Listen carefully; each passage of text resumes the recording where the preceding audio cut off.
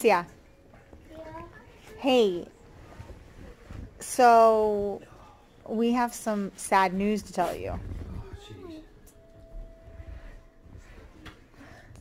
Christmas is canceled. Cuz Santa has to come in the house and leave presents. He's not coming this year. You already made the kid cry over the Easter. You're kidding. No, I'm pretty serious.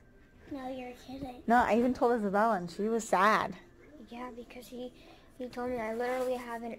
I literally have his number on here, and he called me and told me. Why y'all pulling April Fool's jokes on the only adult? You're lying because you lied from the Easter bunny. I can't even trick her again. Good job. Good job. you, you tricked me on Easter, and now you're and now you're tricking me on on Christmas. no, I do not believe you. You're totally wrong. You are pretty smart when you want to be.